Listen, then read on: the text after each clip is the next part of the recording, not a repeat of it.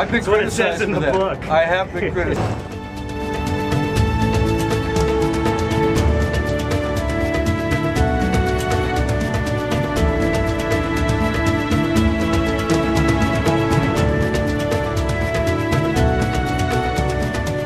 Went to college. He's going to college, and this came up as a summer job. This was going to be my summer job, but I just stayed because it was fun.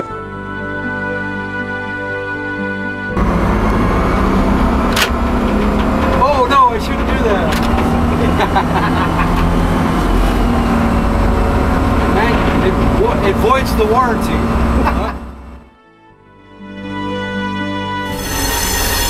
I better get some royalties on this documentary. I'm sure you'll make lots of money on this.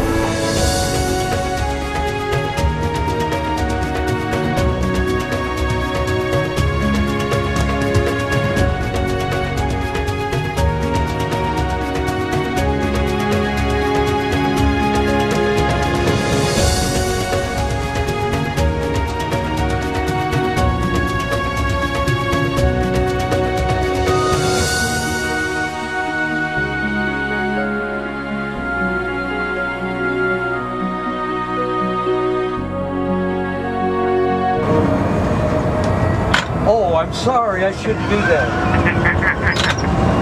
I guess I'll never live that down.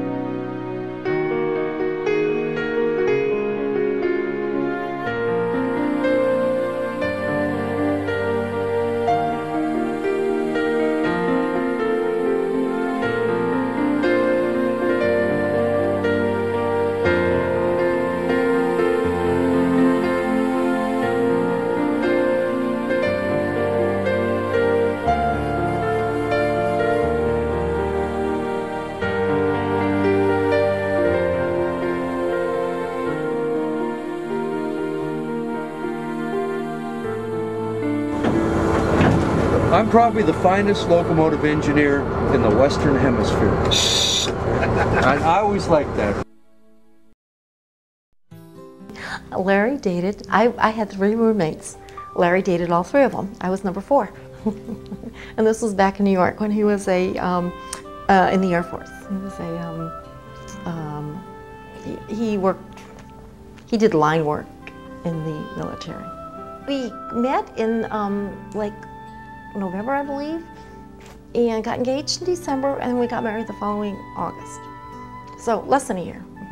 Uh, well, he went to work for um, a telephone company.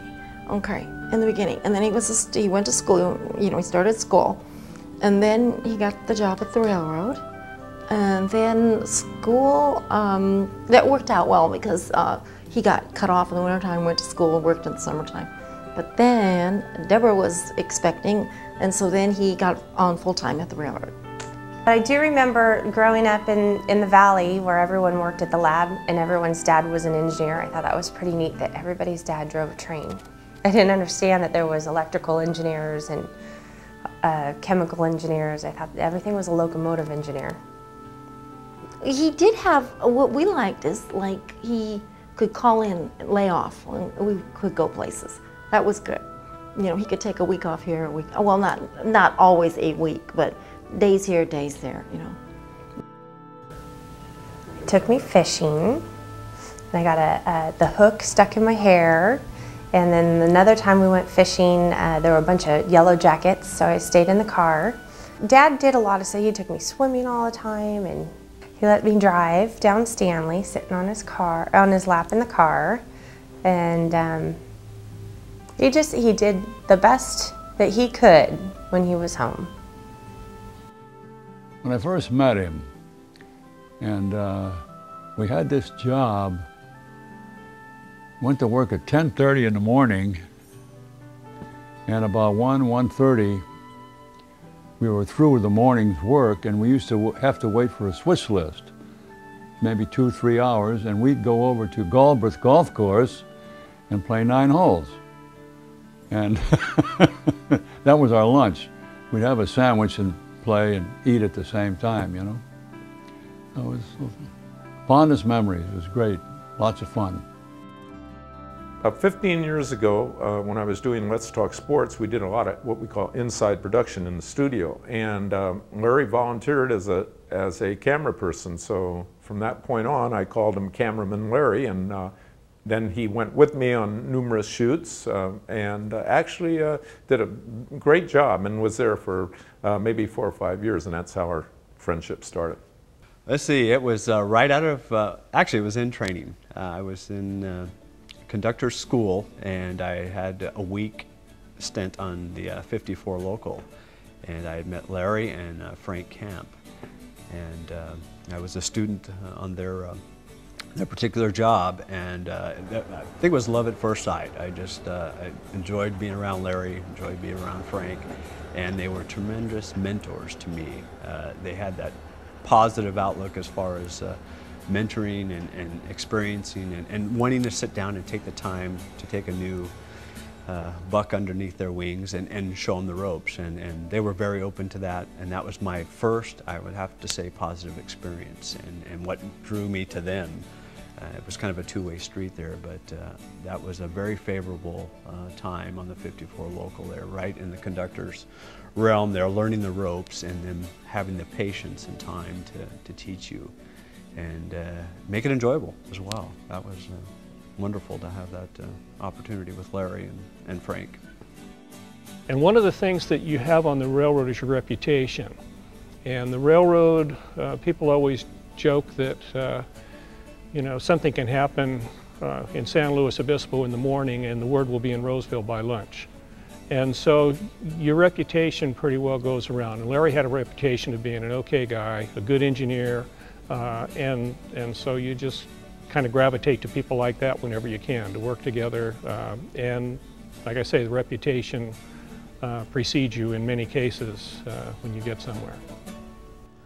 Well, I've known Larry over the years. We've uh, He's been an engineer. We'd stumble into each other and then we'd work regular jobs together. He'd go his way, I'd go my way, then we'd bump into each other again. The last time was when him and uh, Dick Leitner convinced me to change from Warm Springs to Milpitas to work with them on the uh, 46 local. And we worked that for about eight, six months before Larry went back to Milpitas, and then Dick got injured, and so there I am in a strange yard, all by myself, and the people I was going to work with are gone. So uh, we got along pretty good, and while I was there, after being on the railroad for a lot of years, Larry gave me my nickname that I've never had before on the railroad. I came to work with a cold, and giving him radio commands, he started calling me Froggy. And uh, lo and behold, the name did stick after all these years, so now a lot of people call me Froggy. the previous hoghead we had on there who was WP, and I've known him ever since we've been down here. Uh, a nice guy and all, but he would make life difficult for the fifth 54 local, primarily because he wanted to go home before he even got there to go to work. And then he would just poke around, and even if you, were able to try to get the work done. Uh, it was battling him all day. Larry came on the job and Larry, you know, likes to do a good job too and, and we just worked well together. We, we became good friends. Frank Camp was, was on here, uh, the three of us, and, and Frank has known uh, Larry for many years. But uh, as one of the WP people, uh, they kind of took me in, in their arms and embraced me, so, which is good because there wasn't too many of us left. well, we always had a little joke between the two of us, and I'm junior. And there was a Paul senior and there was a Paul junior, and uh, I was a junior, and um, we've always kept that up. Every time we see each other on the coming by, we always say, "Hey, junior." That was us. well, Larry and I always uh, had a had a thing going that uh, we enjoyed pulling kind of a prank on each other uh, whenever possible. We always, almost always worked nights. Either the afternoon job ended up being nights or strictly nights all night long. And uh, I had a thing that I used to get to him because your your night vision, like looking at this light right here, you know what it does to you, uh, as opposed to being out there in the dark where you can see better. And uh, I I used to take delight in uh, getting over someplace where he didn't know I was going to be coming, and maybe he was coming by on the train uh, slowly through the yard or something, and I would shine my spot bulb in his eyes, you know, and, he, and he'd yell out, oh, you got me, you know, and, and then later he'd do the same to me with his flashlight or the headlight of the engine and things like that. That was uh, always a good, good sense of humor, and always he was prepared to, to go to work, and uh, as well as, as Tom. And you know, the guys were on time, they were they, they came down with the, not just trying to get out of work, but just trying to get the work done as efficiently and fast as possible. And uh, they had good attitudes and, and good senses of humor. Because I went hungry a lot of times because I'd bring enough for me. And you get on the engine and Larry with these little puppy dog eyes over there would, would keep giving you the eye until you shared your lunch with him.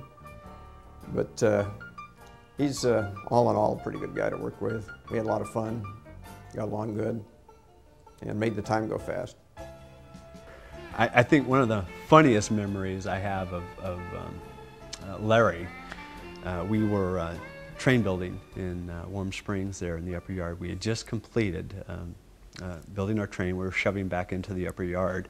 And Santa Fe was going to do the same thing on the adjacent track there. And over my shoulder there, the crew of managers were watching us. They were watching us build our train. That was what we call the swarm team. Uh, and uh, we just finished the, uh, the switch and the train building, and I had my uh, brakeman get on the point and shove back in, which is a, a proper movement uh, for protecting the point as you're, you're shoving back into a, a blind rail. And uh, the Santa Fe conductor came over and stood back next to me, and he was going to do the same thing. however, he didn't. He, he, didn't get his brakeman on, and he didn't get on the point shoved right back into the rail adjacent to us. And the next thing I know, I look over my shoulder and the, the blazer full of managers is taking off and they're heading towards us. I didn't know what basically they were after, but boy, they, they shot like a rocket after us and uh, pulled up alongside of us. And uh, I don't know if you, uh, the analogy of a, you've been to the circus where one of those uh, little clown cars pulls up and all the doors open up and all of a sudden these people just start piling out. So they piled out and they surrounded this uh, conductor on the uh, BNSF. And I kind of stepped back a little bit, but they actually uh, cited him for not uh, protecting his shove. He didn't get on the uh, point, or nor did he uh, elect to have his brakeman get on there. So they started a pretty stiff argument there, so I just kind of stepped back and, and went back towards the engine there where Larry was sitting. But as soon as I got up on there, he he was laughing. He says, "You ever seen that?" He says, "Just like a clown car pulling up at the circus there, all the and he was laughing his head off there, and uh, that was probably one of the mem more memorable moments uh, that I had with uh, Larry. Larry and I uh, soon developed a friendship, and we're both bachelors, and so uh, as um, I don't know who came up with this term, as either there's only two of us, either he or I. Uh, we used to like to go out and ramble every once in a while. And uh, so we used to go uh, to our couple favorite uh, quote unquote restaurant watering holes. And uh, he's single and I'm single. And uh, so we, we, would, we would have a good time together. And, and we, we were always well behaved, except a few times where we got rides home. but and then once in a while, when the hot rods had come, we'd ride in Larry's Corvette. That was a big, that was, that was big time for me. You know, that's, that's a big time. And uh, he would, uh, you know, he would drive one time and I'd drive. And of course, when I drove, it was always an adventure uh, because he's, uh, he, I'm sure he was a little nervous when I was driving. Uh, actually, Larry is famous for helping me out trying to meet these young ladies. Um, it was the first Wednesday one night, and uh, it was about uh, 6.30, and I met uh, three very nice young ladies on the first Wednesday, and I'm talking to them, and uh, they can hear the train coming, and it's right about uh, the corner of Main and uh, Stanley, and it's coming very slow. And I said, "Oh, ladies, that's my friend Larry the engineer." They laughed. I said, "Well, you want to hear something?" I said, "I'll call him right now, and uh, let's see, there are three of you." I said, "He'll toot three times." So I called him on his cell phone. He said, "Yeah, I'm coming right there." I said, "When you get to Rose Avenue, toot three times." So these ladies didn't know who I was, and they thought I was just not, you know, kidding around. And he got to Rose Avenue, and he tooted three times. And those ladies were very pleased with me, and I have to thank cameraman Larry for that, and engineer Larry. So yeah, he uh, that's that's those are the kind of things we did, you know. Well, that's that's funny. I, I, I'm just going to hold this up to the camera. See, I have this thing called a time book that I did some uh, homework on, and uh, uh, you know, we went out to. Uh, there was a trip on February 24th, 1978, and uh, this was just after I got back from the simulator, and I went back to the fireman's job, and uh, we went out to Tracy and uh, it was the SFWCY, and we had the 8474 and the 8986, and we tied up at uh, 8.15 p.m. And uh, what did we have on duty? Not a bad trip. We had uh, we were on duty at 3.15 in the afternoon, had five hours and 30 minutes on duty. And 8.15 p.m., I think that was really prime time to go to the bar and get a drink before they closed at 2 a.m. And I don't, um, I think that I was really tired that day because I had a, a long day the day before and uh, I went to the hotel and I sacked out. And uh, uh, I don't know what Larry did. It, um, I have no idea what Larry did, but I think he went over and, and uh, I think he had a toddy or two. And uh, our conductor was Roy Smith and Roy always liked someone to go have a little toddy with him after work and I think Larry might have been with Roy. I'm not sure, but maybe. I wasn't there. I don't know. But the next day on the 25th, we got called on duty in Tracy at 8.45 a.m. on the uh, RVSJA, and we had the 3207 and the 3208. And um, um, Larry wasn't feeling well when we, we came to work.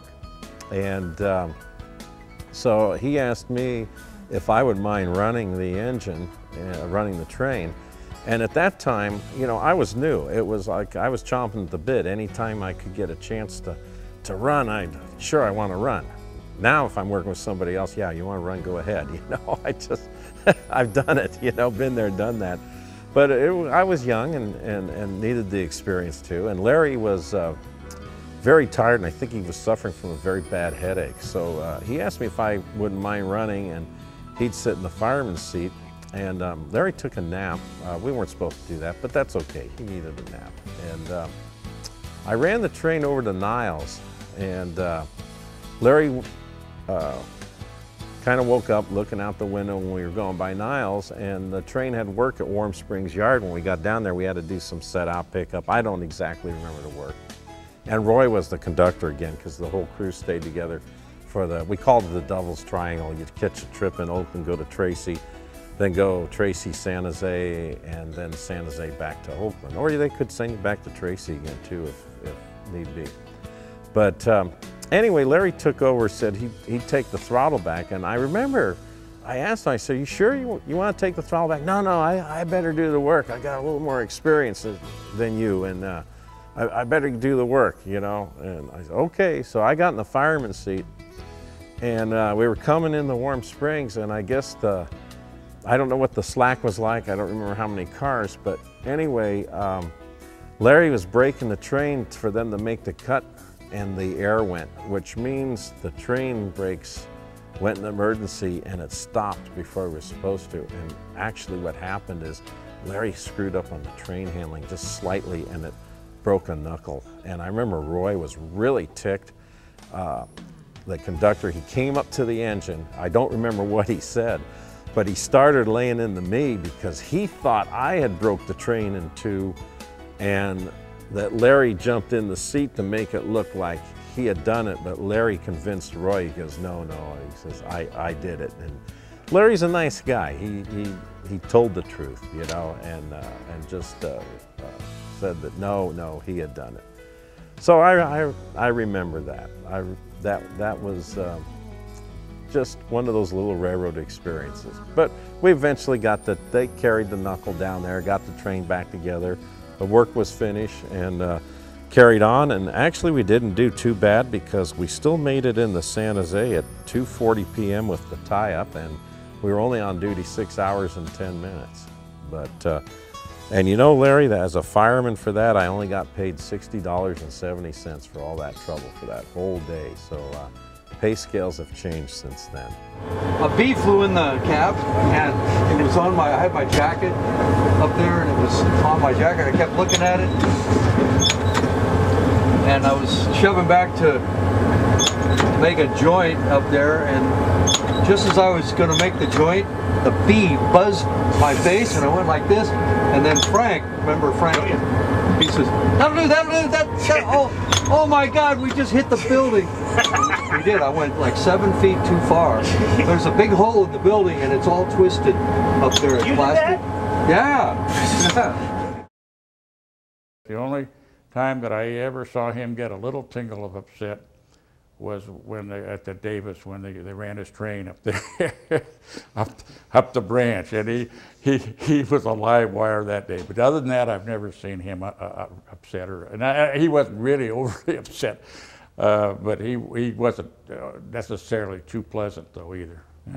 Well, I worked up there. I had that position. That was a regular position for me again, the, the railroad gave me a lot of freedom, freedom that you don't get anyplace else. I had the insurance business for two years, and I worked in the uh, meat industry for maybe five or six years, all the time keeping my position with the railroad. So I went to Suisun Fairfield as a, as a herder up there, allowing me to work nights and to uh, go out and sell and do what I had during the day, which I did.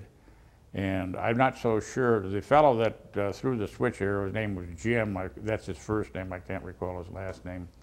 But nonetheless, we had specific instructions that when you went out to throw the mainline switch, you didn't throw the mainline switch. You started a clock, and then you went down and got a second switch, and then you walked back.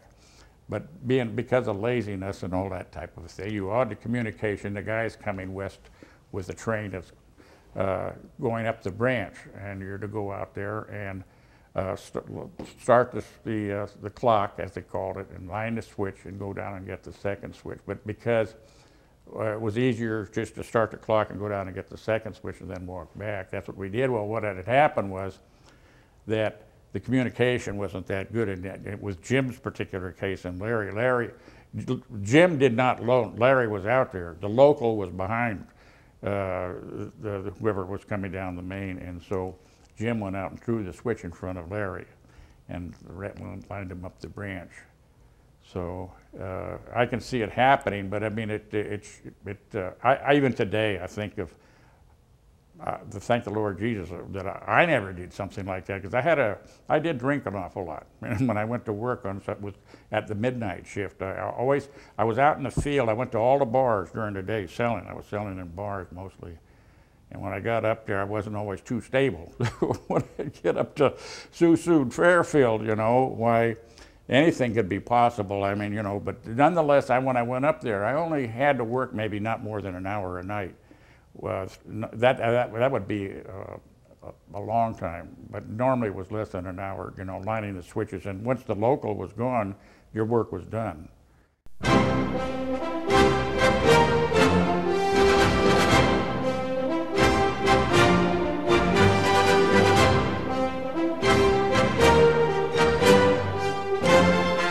Help understand the complexities of being the greatest engineer in the Western Hemisphere, the 54 Fan Club traveled all the way to Omaha, Nebraska to meet a very special lady. Um, I work for the Union Pacific in Omaha, Nebraska in the Harriman Dispatch Center. Um, train dispatcher. um, it's Elizabeth Ann Broaderick. Um, there's, when we switched to CAD, there was already an EAB downstairs. So they just came to me one day and they said, You're going to be ELB. And I'm like, well, I go by Beth. Can't I just be B-A-B? And they're like, no. there was no negotiation about that. It was, I don't know how they came up with it. You know, the uh, YL, I don't know. They're such nice guys. I, uh, I try and do my best to get them in and out. And, you know, I, uh, uh, they kind of, it seems like when I come in in the afternoons, they've kind of been relegated to the end of the line. It seems like getting out of Warm Springs usually. So, um, on a good day, I know when I get there that they're already at Fremont, which rarely happens, you know. And on Wednesday, they've never usually made it out to Livermore by the time I get there. So, um, I don't know. I like talking to them, and I try and do my best by them. And uh, I don't know. I really, I really like them. I like the weird moves that they make.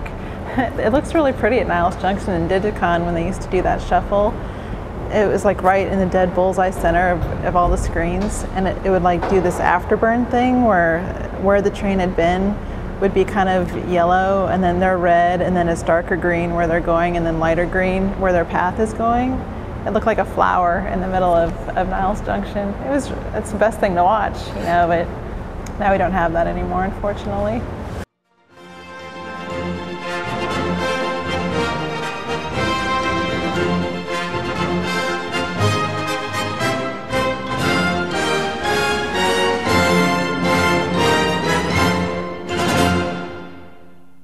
We got married in Tahoe at the Edgewood Golf Course. My dad was nervous. He was very, very nervous. His heart was racing. I thought he was going to have a heart attack. And um, all day long, he's like, I, think I'm feeling a little bit better. I'm doing a little bit better. But he was extremely nervous. He looked fantastic. My dad's a handsome guy. And everybody always comments on how young he looks and he was pretty nervous, but he did he did pretty good. You know, he's nervous about everything, worrying. You know, he needs to stop doing less of that. well, he's done a lot of kind things. He doesn't. He's not a guy that, you know, has the TV camera when he helps somebody out. He's not that uh, type of person. Um, he's he likes kids a lot, and he likes his grandkids. Uh, he does a lot of things behind the scenes for them and his daughter.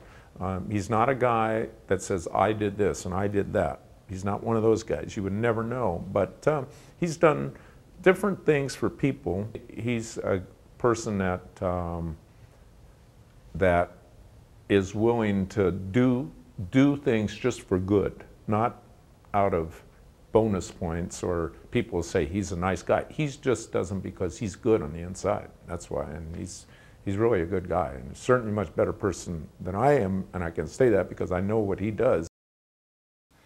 Well, the way, the way he treats people. He's friendly, he's, uh, for example, the other day, I've been having trouble with my eyes with this illness. He came over and cut my fingernails for me. I said, how about that, huh? Something like, things like that. And uh, his whole life has been to help people. You know, he's, he's had helped his mother, took care of his wonderful care of his mother she got ill. You know, and it's wonderful. Great guy. Walking around the engine with Larry the first day, I had we had to MU a couple of engines, and uh, he was taking me around, pointing things out, and I, I just did the uh, the tie up, and I was starting to link the uh, MU hoses together, and I had missed a valve on there, and it was like you know, him putting his arm around me and taking me over and look, son, uh, you missed a missed a valve over here. so uh, I, I, would say that was very positive, and, and fact, he always kind of looked back on that, saying, you know, son, I love you like a son, but uh, let me show you this, let me show you that. But uh, I grew up in Southern California, and uh, it was suggested to me if I would hire out switching, I could stay home and work and, and put myself through school. And so I did that to put myself through school. And 41 years later, I'm still railroading. Well, right now, Tom's with the uh, local right now. He's a California legislative representative, and we work pretty closely about uh, taking tracks out of service, making sure things get fixed, the weed problems and things like that. And um, we always, uh, when we went over to the chocolate place, we always got chocolate. well, Tom's the same way. Tom's easy to get along with. Uh, I had more seniority uh, and I had a bump, and I chose to go braking for Tom to keep him on the job because if I had bumped him, then he wouldn't have been back on the job. So that shows how I respect Tom. And working for him was absolutely effortless. Uh, it was a collaboration. Uh, he'd come in and say, "Here's what we have to do. You know, what do you think? What do I? Here's what I think," and away we'd go. Um, with both of them, there's never been a bad moment. Well, Tom has an affinity for animals, and we were at uh, US JIP one day, and there was this little kitten. When I came across, it was following Tom. He had been been there ahead of me, and apparently its mother had abandoned it, and it was hungry, and it was just a squealing and a squeaking for something. And Tom wound up somehow going into JIP there and getting something to feed it. And then after work that night, Tom went back with a box and uh, adopted that cat. And uh, he's done that, he did that with a kitten down at Milpitas also. So Tom is an animal person and uh, he goes out of his way when he sees one that needs help. I actually met Tom in a bar in Portola on my birthday. Uh, I had kind of ended up somewhere that I hadn't really expected to end up and he gave me a ride home. I was back home visiting. I was living in Reno at the time. And uh, we just started talking and have been talking ever since. You know, it's funny, growing up in a railroad town, my mother had always sworn that she just knew I would never marry a railroader because my father kind of had the local railroad bar until he retired. And my mother just knew I wasn't going to marry a railroader. And boy, did I surprise her.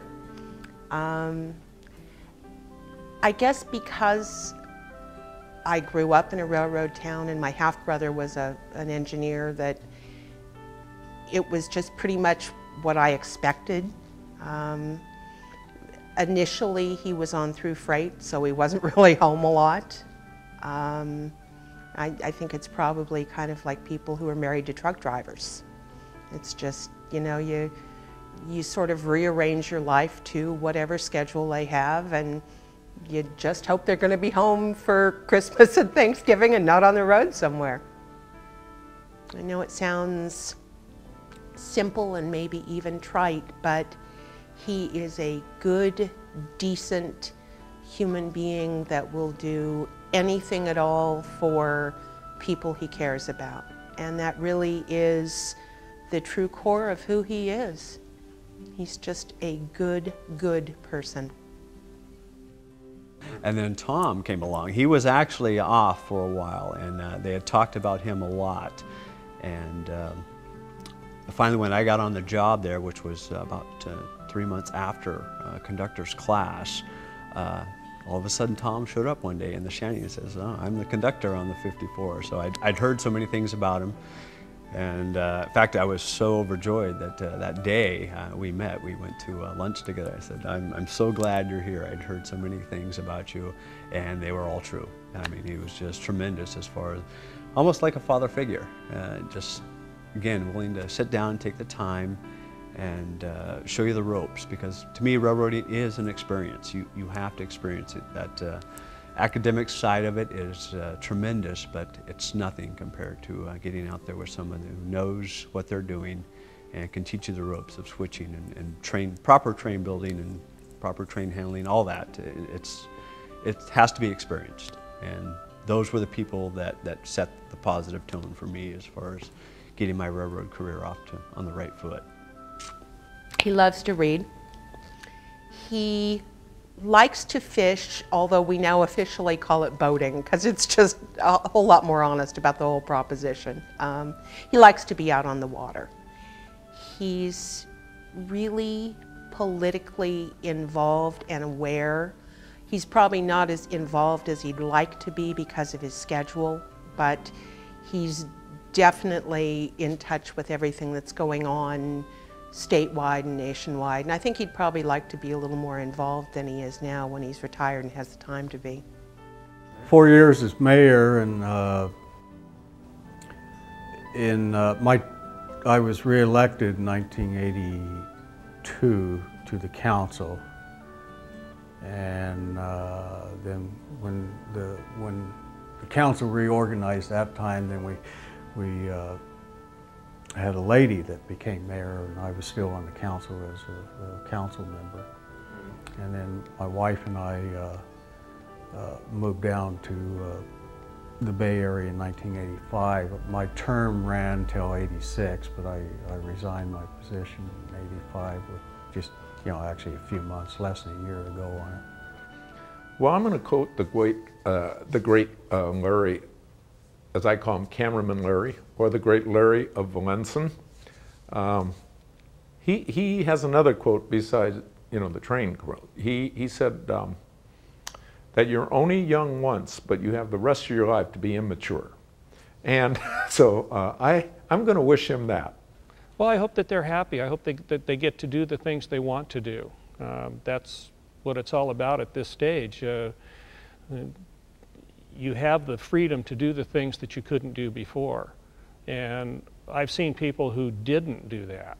And it's not, it's not a, a, as good as life could be. Um, so I hope that they use the time to do the things they want to do and, and to not do the things that they don't want to do. I find that some days I don't feel like doing very much and I'll pick up a book and read for a while. And I have that luxury. I never had that before. A funny thing about retirement, when I was uh, first promoted, I was number 208 on the engineer seniority list in Oakland. I remember I was standing there looking at that list one day and this old head was there. I forget who it was. And I said, geez, I said, I'm never going to be able to hold a job around here. And he says, oh, kid, don't worry about it. People quit, die, and retire, and you always gain seniority. So, and I guess he was right. We all get there. Uh, I wish them uh, long life. I wish them uh, enjoyment. I know they will. they both have uh, interests uh, other than the railroad, and, and they'll make uh, good on whatever they they pursue. even if Larry comes here or stays here and works around the city of Pleasanton and doing different things. Tom always traveling, always going up to Portola and different things, and he's got a boat. So I know they'll they'll make the best of their their uh, retirement, and I, I, do wish them well. That's uh, those two guys I, I, will miss tremendously, but we will keep in touch, and that's the best part that I, I can think of is always uh, keeping that communications and knowing what they're doing and how they're doing is uh, is important to me. But I'm glad. I'm. He needs to. He needs to. He's so young for 60 that he should not be putting in all these hours. Should be enjoying himself. I'm gonna watch my kids. he's going to have fun. He's going to do, he's been thinking of all the things that he can do to still, you know, stay in Pleasanton. But I think he'll, he'll get more, he'll get back into the art again, take some classes. Long life and health, and uh, the rest comes, health is, is wealth. To me, uh, uh, everything else is, is immaterial. I mean, you can find if, if you didn't have enough money, like in my case, I said if I didn't have enough to live on with the railroad retirement, then I'd get a paper route, uh, do something. But uh, as long as you have health, you can do a lot of things. You can travel or you can get another job if you want to, a part-time job if you're bored. You can do whatever. You could be a school crossing guard. Uh, as long as you have health, and that's the most important thing, and I wish health to those guys, uh, and I, I hope they live to be 100 and I can go to their funeral. But, uh, that they don't miss the job very much and that they have a lot of other stuff to do. And um, they should come out to Omaha too so I can meet them. I, I doubt I'm ever going to get a road trip at this point. But Tom, uh, you know, it was really nice working with you. And, and Tom used to say something like, um, when they were at, Car or at uh, Carpenter, at a certain time, I would just start to light up all the lights when I felt like they were going to be turning around and coming home. And he'd see like, you're almost as good as Troy as that. We just looked up and the lights turned on and we were just about ready to go. So Tom, Larry, I don't get to talk to you very much, but I can always tell when there's another engineer on the 54 they just don't do the shuffle quite as fast. it's just like, when are they going to move? Larry would have been on that signal, you know. He'll probably travel a little bit and uh, got a lovely house to take care of and uh, that I don't know. I imagine he'll try to do a little traveling. And uh, as you know, his daughter and they're thinking of moving to uh, to Utah. And whether it's going to take place soon or ever or what, I don't know. If they're thinking about it. And frankly, I hope he never moves to Utah. I don't know how anybody could want to leave Pleasanton and move to Utah, but then that's none of my business. I'm probably the finest locomotive engineer in the Western Hemisphere. I, I always like that. Um, I'm Elizabeth Ann Broaderick, dispatcher 5-8. Well, Larry, this is Bill Burkett, and uh, it's, uh, I guess it's been a good ride. So uh, I guess what they say on the UP is, that'll do LRM 54. Okay, Larry, this is Froggy, and uh, that'll do on the 54. I'm Debbie Sandall, and that'll do 54. I'm Dr. B, and that'll do 54. Okay, Joseph Milliken, Southern Pacific, that'll do 54. I'm Katie Valenza, and that'll do 54. I am Paul Camperla, and that'll do 54. I'm Ken Elston. That's me. Local 54. Okay? This is A.W. Swenson, and that'll do 54. Hi, I'm Ken, and that'll do 54. I'm uh, Tim Cakebread, and that'll do 54. I'm Vicki Applegate, and that'll do 54. Well, I'm Tom Hervey, and that'll do 54. I'm Frank Camp, and that'll do on the 54 local.